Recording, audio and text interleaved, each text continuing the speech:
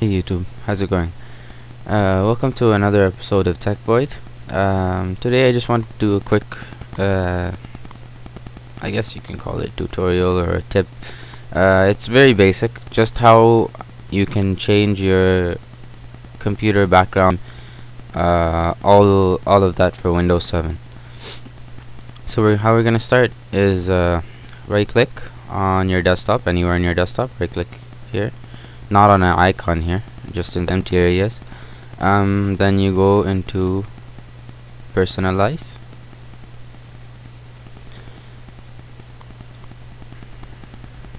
And from there you can select any of these any of these uh, these are the basic default themes that come with Windows 7 but what you can also do is you can add additional themes.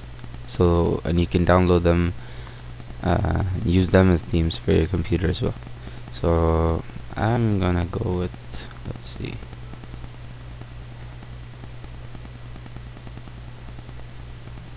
Gonna give me a preview of it.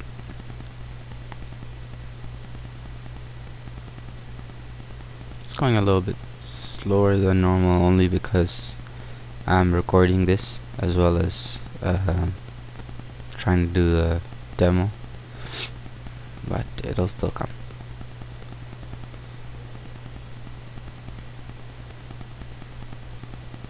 Okay, now I think I'll go with the basic, basic Windows 7 theme.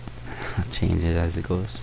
Okay, here we go. So uh, you'll see is from before and now, there's a there's a difference in this this bottom bar here.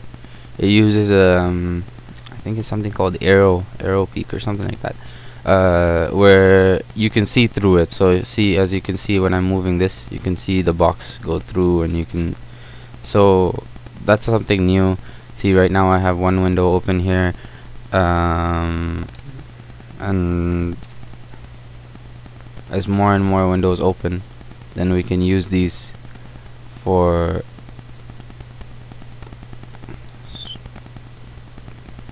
as background so you can see what's going on in the back. So yeah that was just a basic tutorial how you can change your Windows background. Um, there's this there's a lot more coming forward uh, as we go. So um, I hope you guys enjoyed this video. I hope uh, it may help someone who didn't know how to do this. Um, thank you for watching. Please don't forget to comment rate and subscribe Thank you.